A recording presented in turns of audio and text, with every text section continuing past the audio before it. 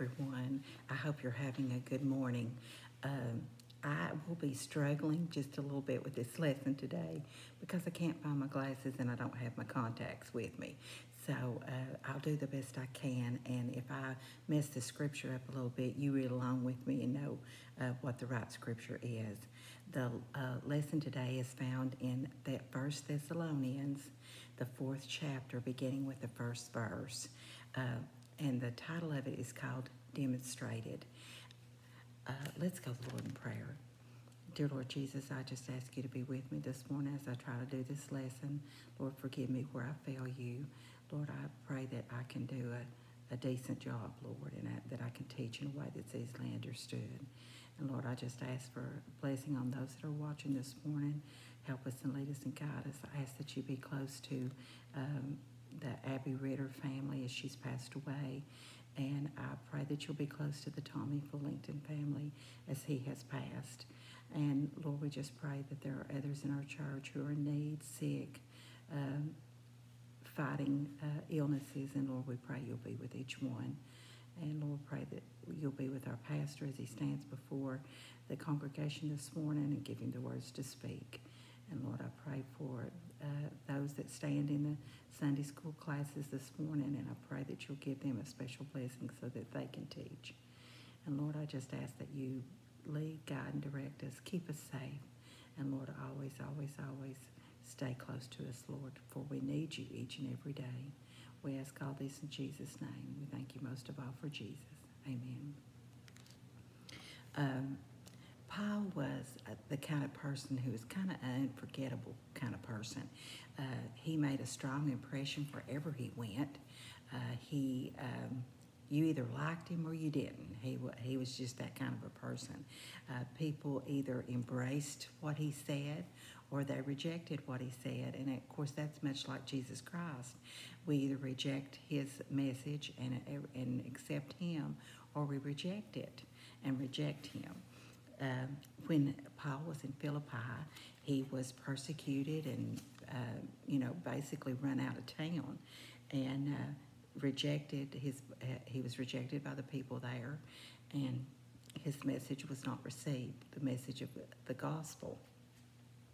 When he went to Thessalonica, it wasn't a whole lot different. He also uh, was, uh, you know, he was only able to be there three weeks before he had to leave. And uh, uh, I think his stay there, if I recall correctly, was approximately three weeks, and he had to move on before uh, because the people who uh, opposed him uh, made it uh, unhealthy, you know, for him to stay stick around. Uh, Paul many times was beaten, stoned, shipwrecked, you know, all those things because he was trying to do what he felt like the Lord was leading him to do, and the devil constantly tried to sway him or, or uh, waylay him so that he couldn't do what uh, he needed to do. Excuse me. But, you know, they could not stop the message of Christ no matter what they did. Um, the church of uh, Thessalonica, even though he was only there for a short time, embraced Paul's message and it changed their lives and they became a uh, light uh, in the in the darkness of that area and uh, they uh, was a church that was known, you know, for loving others and uh, um, doing the right thing. Though Paul couldn't physically be with them, uh, he he constantly prayed for them, and he constantly um, tried to communicate with them through letters, and. Uh, the growing church of Thessalonica was uh, making a difference in that area, and that they were in the Macedonia area, and they were surrounded uh, by you know uh, different areas there that uh, needed to be reached for the Lord, and uh, their testimony kind of spread throughout the Roman Empire. So this was a great thing. Um, let's read uh, 1 through 5. And I'm going to try you all. I hope that I will do a decent job. I cannot find my glasses, I cannot, and I do, do not have my contacts, so uh, I'll do the best I can on reading this.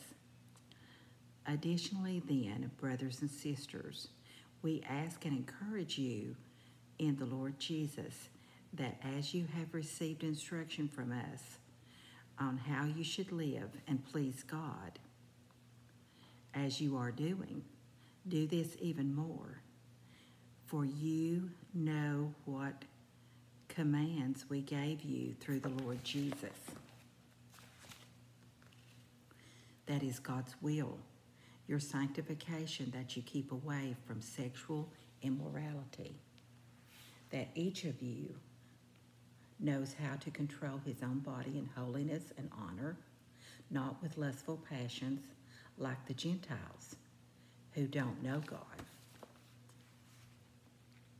Okay, we'll stop right there for a second.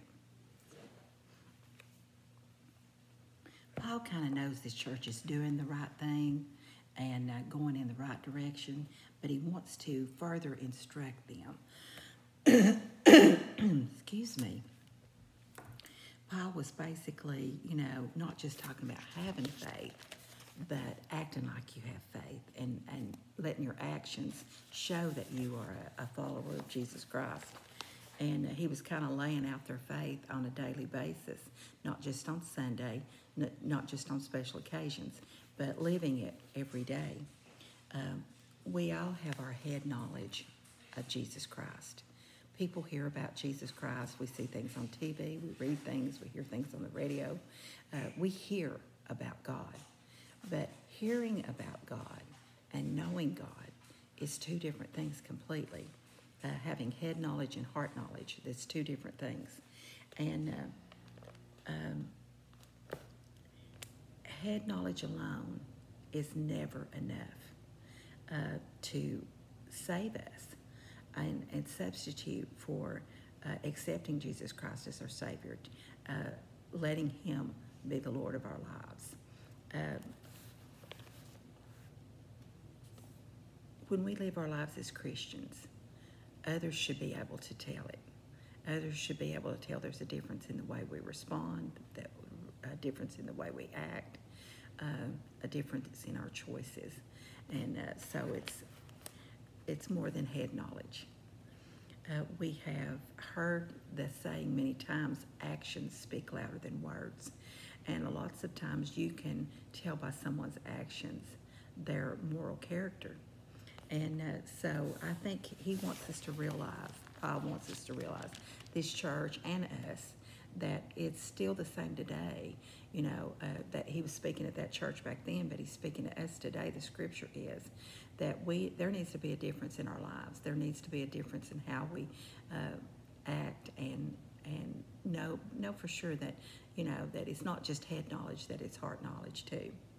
Uh, we can attend church. We can say the uh, you know, the right things, we can say the right words. Uh, but if we don't live it, if we don't act it out each and every day in our daily lives, then people question our faith. They question our um, true faith or true uh, um, connection to Jesus Christ.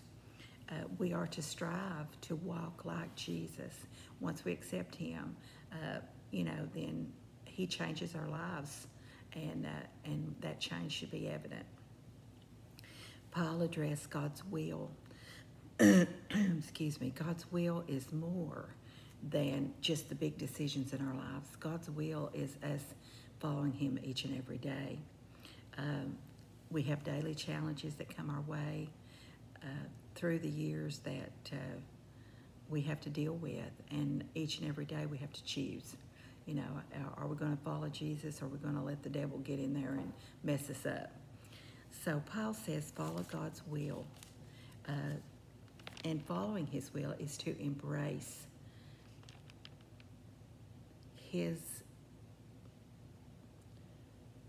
his character, to embrace his character in our lives it comes down to choosing to do the right thing. You know, I tell my children and I tell my grandchildren all the time just do the right thing.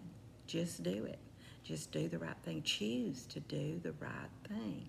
And uh, pretty much, I mean, sometimes it'll, you know, may get you in a mess, but most of the time, if you choose to do the right thing, things will come out okay. It come down, and that's what it kind of comes down to, choosing to follow Jesus or choo- choosing to let Satan get a hold. Paul uh, addresses sexual immorality uh, with these people. And uh, believers during this time, you have to remember that uh, the Greek culture and the Roman culture, uh, they worshiped idols and they had um, prostitutes who were actually were in the temples and these people would go in they had both male and female prostitutes and uh, they would go into them and it would be a form of some kind of worship and so uh, it was considered in their culture it was considered okay. And so paul uh, was fighting against these uh, uh, idolic um, uh, these practices of idolatry. And uh, he wanted the people to know that there, there was something wrong with it that it wasn't uh, okay. Sexual purity um, is part of holy living uh, it's a challenge for all human beings. Uh, we are made uh, female and male, and we all are human beings who have uh, uh, human desires that God uh, allows us to have, and we have to work to channel those desires and those feelings in the appropriate way. And we, um, we are responsible for our behavior. We're responsible to keep our uh, conduct in control. And uh, self control is one of the uh, fruits of the Spirit. So um, it is a challenge. You know, people who think it's not a challenge, I think they're, they're fooled because we are human and we do have human feelings and desires, but we have to uh, control those feelings and desires and channel them to the appropriate uh, to the appropriate um, situation. And uh, of course, we believe that um, you know sex which is con- contained to the marriage between the husband and wife. That's the only uh, thing that we feel like is acceptable to the Lord. Um, excuse me, I'm so sorry. I stopped up this morning. Um, you know, if you believe that Christ lives in you, once that we accept Jesus Christ as our Savior, He comes to live within our hearts. And uh, if we believe that, then He goes everywhere we go, and He is there for everything we do. And um, so um, that can make us a little sad sometimes because we fail Him so miserably, and uh, we we want to be we want to honor Him with our actions. That's our goal as a Christian. We want to honor Him. Um, we all have dishonored Christ, either by our thoughts or by our deeds. So we are, you know, we're in that same boat. There's no no one holy, no, not one. You know, no, all have sinned and come short of the glory of God, and we have to remember that. But we also want to know that we learn from our mistakes and that we move on and that we live better lives because of Christ living in us. Um, he did so much for us. You know, he died on the cross for us, and uh, it makes us want to honor him in our in our in our lives. Um, we want to uh, live lives that um, show others that that we love Jesus and that we honor him in his um, in in our lives. You know, we honor him for what he's done for us. Let's look on at six through eight. I'll do the best I can, y'all.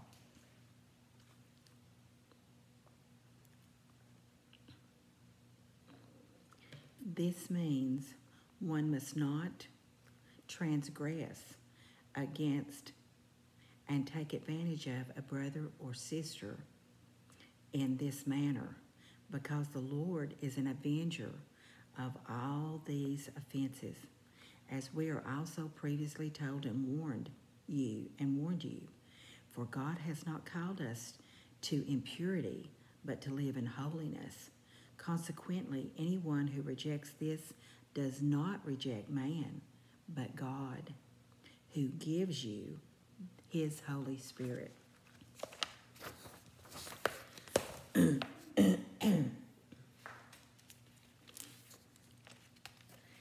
These verses warn against um, sexual, um, taking sexual advantage of some someone or some, you know, someone, and uh, God warns against it. He he warns against sexual impurity, but he also warns against sexual abuse, and uh, it, we have a responsibility to protect others from uh, mistreatment and abuse, and uh, we have that responsibility. God frowns upon it, and. Uh, uh, we know that th- there is a huge, huge number in the world as far as uh, individuals who uh, fall victim to sex trafficking.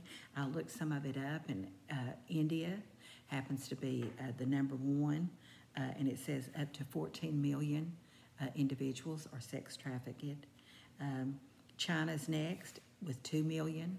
Pakistan is next uh, with two, uh, with one, 1 million, I believe. I may have written it down wrong.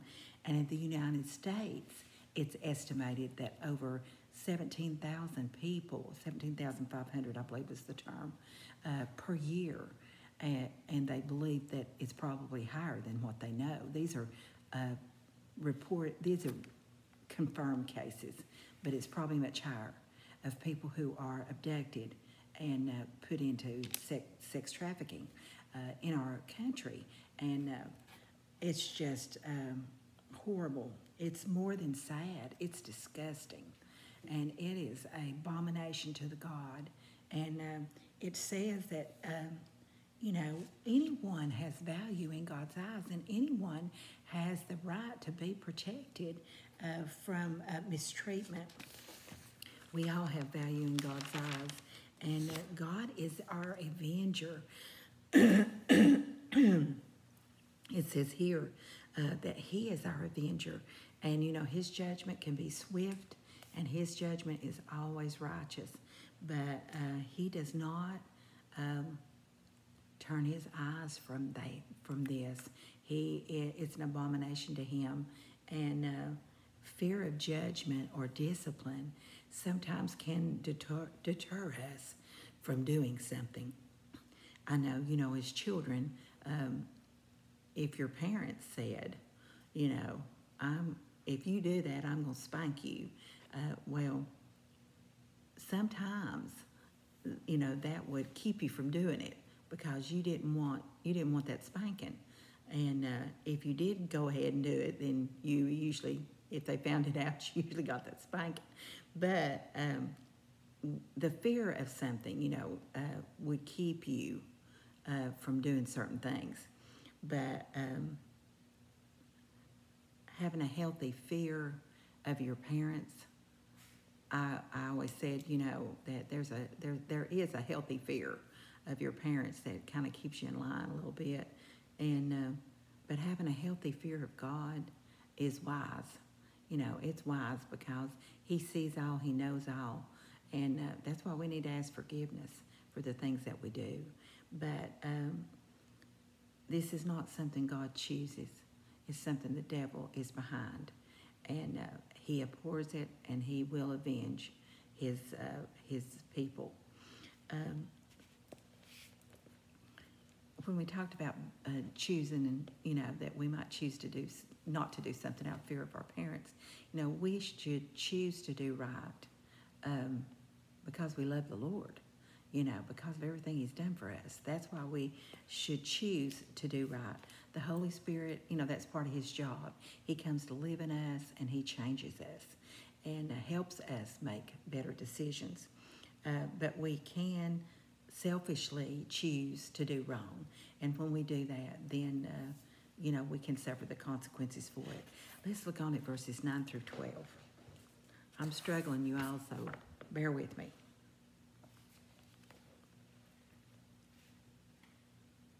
about brotherly love. You don't need me to write you because you yourselves are taught by God to love to love one another.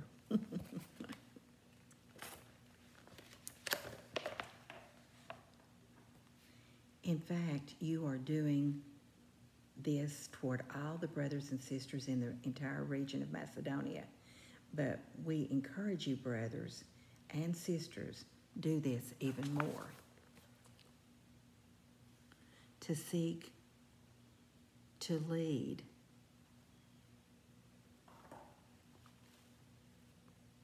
to seek to lead a quiet life, to mind your own business, and to work with your own hands as we commanded you, so that you may behave properly in the presence of outsiders and not be dependent on anyone. I love that verse. I think it's a great verse. Paul gave, um, he, he kind of goes on, you know, emphasizing the importance of brotherly love.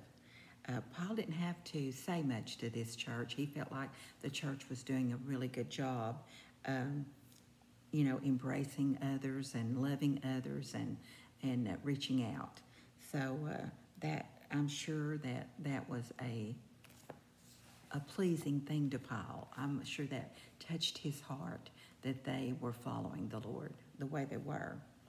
I think by nature, you know, we as human beings, we're selfish and uh, we're sinful, you know, uh, by nature. Uh, but through the powers of the love of Jesus Christ, our, our natures change. And I think He transforms us. You know, uh, sometimes it seems to me like you see somebody and they are just changed overnight when they accept Jesus Christ. We're all changed inside overnight.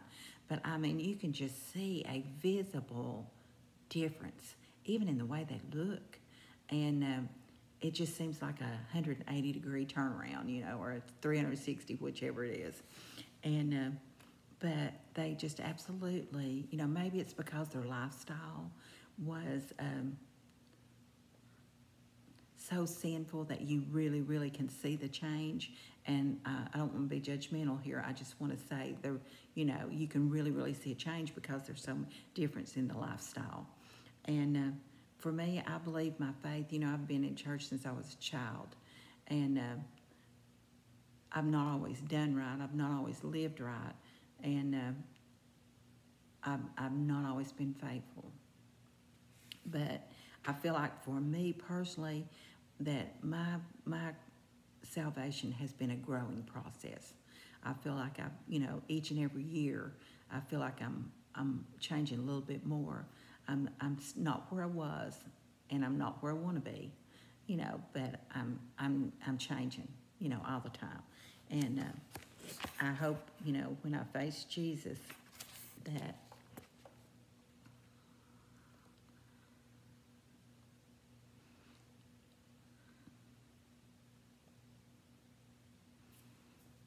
I don't think the word's worthy. You can't, you know, I can't ever be worthy. But I hope I'm better than I am now. I'm grateful that Jesus accepts us just as we are. Uh, where would we be if He didn't? He accepts us. He loves us. He works on our faults and our and He encourages us and uh, tries to uh, lead us in the way that we should go you know, in verses 11 and 12, I love these verses. He gives some very good advice for us. Uh, he says, Seek to live a quiet life. I love a quiet life. I, I, I very much am at peace uh, when, uh, you know, like if you're home and, and uh, I feel like we have a peaceful home and I enjoy that. I enjoy that being my place of rest, my place of peace. And, uh, uh, I, I do. I think that's a, a blessing if you have that kind of home. Uh, many of us were not raised in peaceful, calm Christian homes, and uh, my mom was a was a Christian, and and I uh, I just uh, thank the Lord for her guidance and uh, the way that she. Um, moved us, you know, toward Christianity and and kept us in church, you know, and and um, want and worried about us and prayed for us, and uh, I appreciate all that. But he gives us some good advice here. He says, "Seek to live a quiet life." I do believe that, and uh, mind your own business. Now, I, I think this is this is good. We do. We need to mind our own business. That's not saying if we see someone in trouble that we can't help. If we know that someone's being hurt that we can't speak up. Uh, not that. But you know, don't be a busybody. Don't get in everybody's business. And um, says work with your own hands. I think it's important that we work so that we know where things come from. You know, uh, my husband and I both said, you know, my mom and dad, um, you know, they couldn't help us when we got married, and his mom and dad uh, tried to help us what they could, and uh, but uh, and and they did. They were a blessing. Both were a blessing to us, but you know, they couldn't buy us a house and put us in it and do all those kind of things. We had to work for it. And uh, I think when you have to work for what you have, you appreciate uh, what God has given you because uh, you work for it, but he's been he's the one who enables us to do it. He's the one that gives us the strength and the, and the knowledge to do what we do, and uh, it's a blessing. It's a gift, and uh, so. Uh, uh, but I do think you appreciate it. I, I think you appreciate those types of gifts in your life because I guess you have a part maybe in in doing it. And it says. Um, behave properly, you know, do the right thing, like I said um, be generous, you know, anytime we can, you know, give and uh, give with an uh, open and, lo- and loving heart. We talk many times about giving. And, uh, you know, if you don't do it with the right heart, you don't get the blessing. And so we want to do it with the right, right uh, kind of heart. Uh, don't depend on others, you know, depend on God but to the best you can, you know, you you you make your own way and go your own way and be your own person and provide for yourself and for your family and uh, help others when you can, but depend on God. And uh, so I think this has been a uh, a challenge, you know, today in our lesson and a reminder of how we need to um, uh, rely on the Lord. And I, I hope y'all are having a good week. And uh, please pray for my son-in-law and his uh, um, stepmom passed away, and and uh, she was like a real mom to him because they. Uh, he had been in her life since he was two years old, so uh, it's been a challenge for him. And uh, I also pray for my cousin Tommy's family who's passed away this week, and so we've kind of had two deaths in our family this week, and or this past week, and so just please pray for us and uh, and and them. So uh, we until next time, and I hope y'all are doing well. Much love.